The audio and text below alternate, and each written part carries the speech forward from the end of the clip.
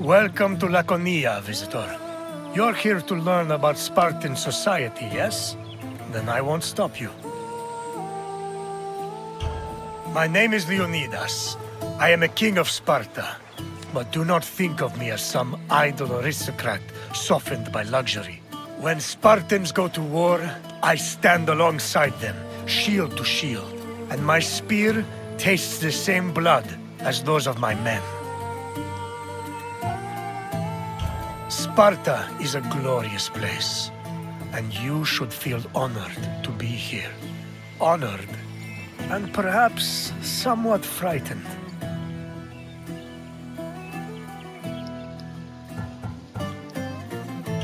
Sparta had a unique hierarchy, especially compared to the rest of Greece. Everyone had their place, and you will soon learn what those places were.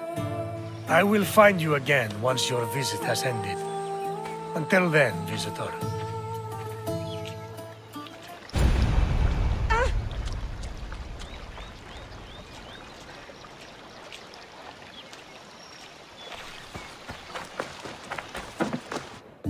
Spartan society was structured around austerity, self-sufficiency, and a hostility towards foreign elements. It was divided into three social classes, citizens, perioikoi, and helots. Citizens were called Spartans, or homoioi. They were free men and women with mostly equal rights and wealth, though their contributions to political life were extremely limited. The perioikoi lived in surrounding areas under Spartan control.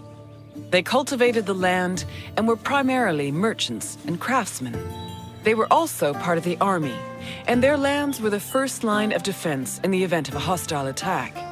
Helots were Sparta's lowest class.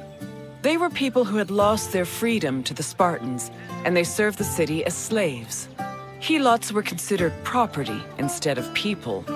As a result, they had no political or civil rights.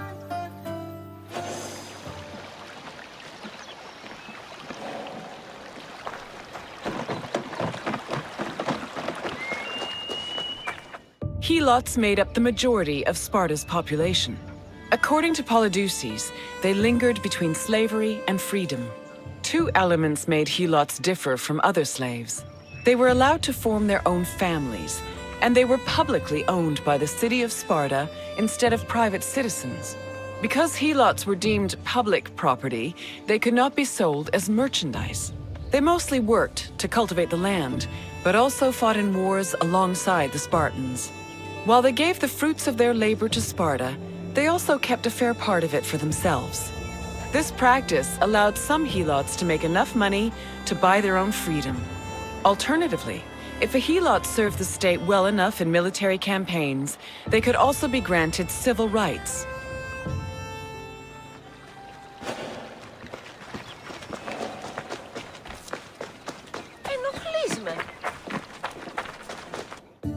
The founding of Sparta is dated around the 9th century BCE. Historical information about the city is limited, but it was known to extend into the region of Laconia. Over time, Sparta started encroaching on the territory of Messenia, eventually leading to war. Sparta gained more land in this conflict, which they divided between their citizens and the Perioikoi. The aftermath of the Second Messenian War, from 640 to 620 BCE, then divided the population into three groups the Homoioi, the Perioikoi, and the Helots. The Helots of Laconia mostly respected Sparta's rule and did not cause much trouble. However, Helots from Messenia supposedly resisted the Spartans, although sources can only confirm one revolt for certain, which occurred in Messenia in 464 BCE.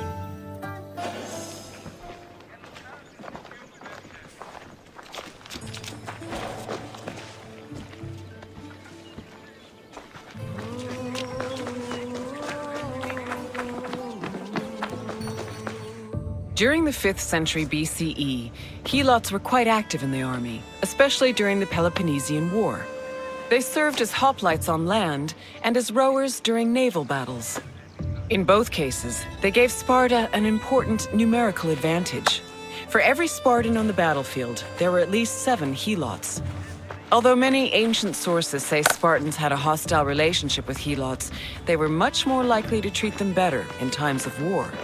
For example, when 300 Helots and 120 elite Spartans were captured by Athens during the Battle of Sphacteria in 425 BCE, the Spartans promised the Helots their freedom if they served them well in combat.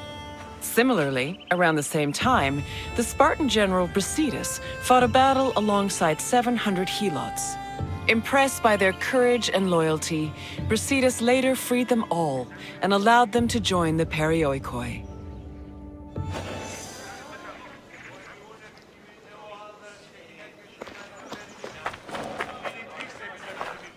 Perioikoi were another group of Sparta's population.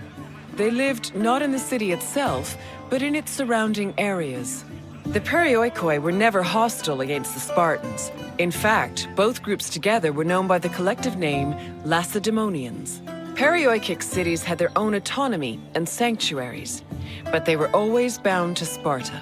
They were allowed to develop their own local laws and economies, but could never reach a level of prosperity that rivaled their parent state.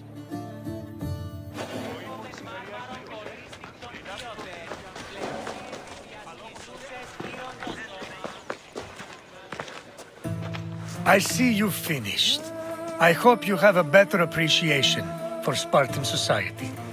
Nothing we do is without a reason, and every man, woman, and child has a role to play. What would you like to do? Then you may leave.